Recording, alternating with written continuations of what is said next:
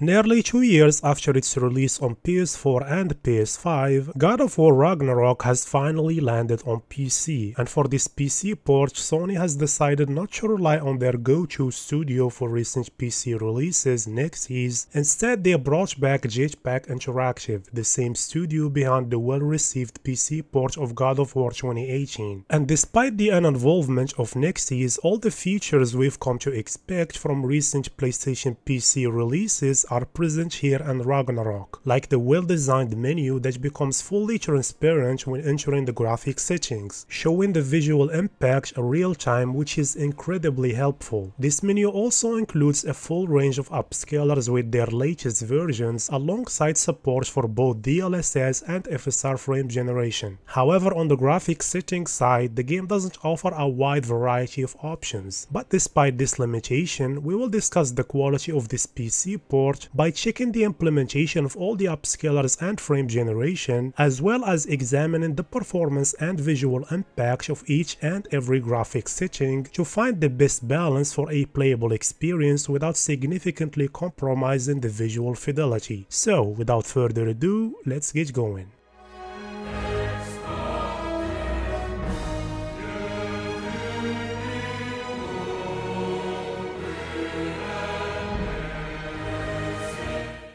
So let's get started by discussing image quality. As I said during the intro, all upscalers are available in this game alongside TAA, and Jetpack Interactive has done a decent job implementing these image reconstruction techniques. However, some issues remain. For instance, XeSS DP4A even at native exhibits some stability issues, which is the same problem we saw on Horizon Forbidden West. Additionally, all the upscalers struggle with screen space reflection, showing noticeable noticeable pixelation. DLSS is the most stable, but in other areas like here, artifacts can still be observed on reflective surfaces, at least at 1440p. FSR3 surprisingly doesn't suffer from the usual pixelation and disocclusion fizzle during fast animations, but there is a noticeable ghosting issue, and this problem is more pronounced on small and moving particles as we can see here.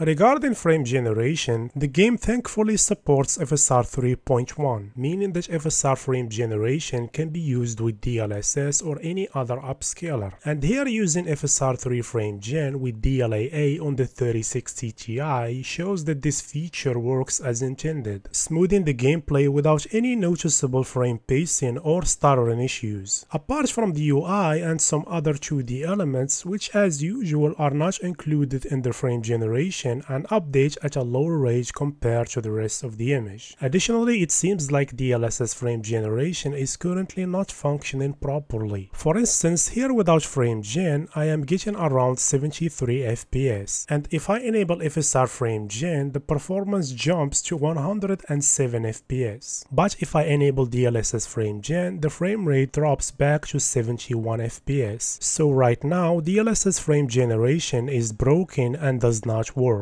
Let's move on to the graphics settings starting with textures. This setting primarily impacts the quality of some specific textures, while most other surfaces display the highest texture quality as long as there is enough VRAM available, regardless of which option is selected. Speaking of VRAM, the graphics menu has a VRAM usage indicator, and with the 8GB 3060 Ti at native 1440p, I noticed that it often triggers a VRAM usage warning, especially when using Ultra for for textures and some other settings like shadows. However, during gameplay, even when VRAM is near the limit, I did not experience any performance drops or excessive RAM usage. Still, I recommend leaving the texture quality at high or even medium for 8GB GPUs at native 1440p, especially if you are planning to increase other settings like shadows.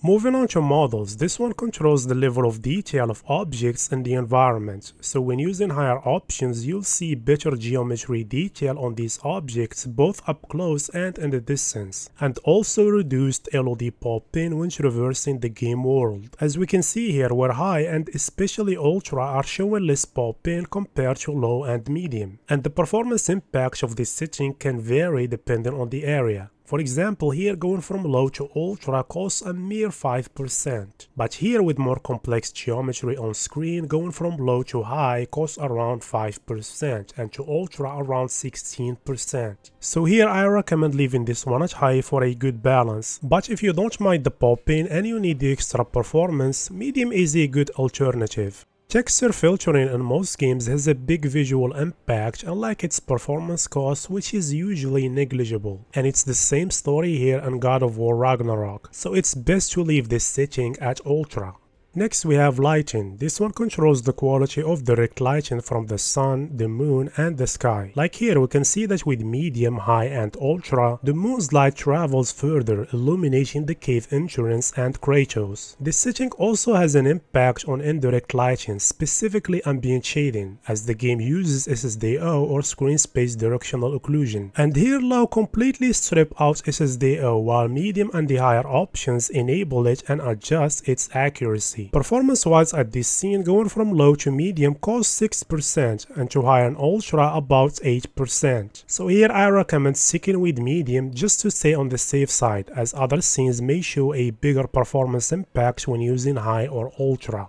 Moving on to shadows, this one controls the resolution of shadow maps in addition to their contact hardening, which causes shadows to become softer and diffuse the further away they are from the object casting them. Performance wise this is one of the most demanding settings in this game. Here going from low to medium costs around 5% and to high and ultra about 32%. But in other areas like here even medium can become more demanding with around 19%. So I generally recommend recommend sticking with medium and only using low as the last resort for more performance.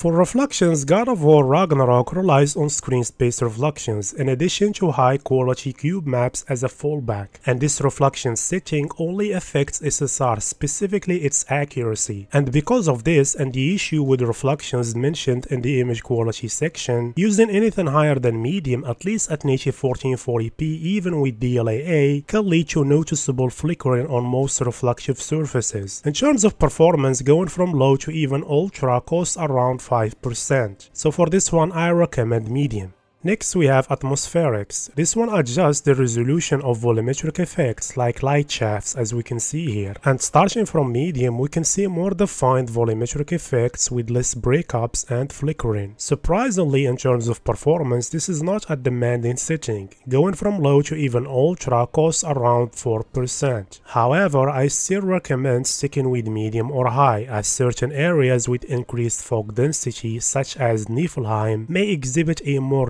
noticeable performance hit. Ambient occlusion in this game has a subtle visual impact and this impact is only noticeable when the lighting setting is set to low where SSDO is disabled. Using medium lighting which enables SSDO makes the visual impact of ambient occlusion even less apparent. In terms of performance, going from low to even ultra has a negligible performance impact. Therefore, I recommend keeping this one at ultra. And finally we have tessellation. This setting adjusts the level of detail and bumpiness of the terrain. Like here we're going from low to medium doesn't make much of a difference but switching to high significantly improves the terrain's depth revealing more details. Going beyond to ultra offers a smaller more incremental improvement. This setting also affects snow deformation detail but the visual impact here is less noticeable compared to the terrain. Performance wise going from low to even ultra has a small cost around 4%, but in some other areas like here in the realm between realms, going from low to high has a massive impact around 21% and going to ultra 26%. So for this one I recommend medium.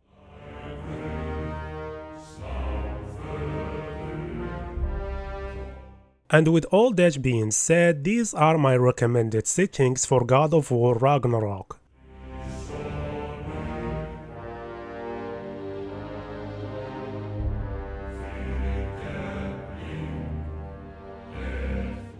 Let's now compare the performance of the optimized settings and ultra preset at native 1440p using DLAA with no frame generation. And I have chosen this area because it's more demanding than the starting area and should give us the worst case scenario. During this comparison, you might see that the optimized quality can drop below 60 FPS, but remember this is native 1440p DLAA. If you have a GPU similar to the 3060 Ti, you can pair the optimized quality settings with upscaling or frame generation for a much more consistent performance. You might also notice some frame time spikes. These are caused by Nvidia Shadow Play, which is how I record these videos. And at the end of this comparison, we can see that going from ultra preset to optimized quality offers on average around 22% better performance, while switching to optimized performance results in a gain of around 48%.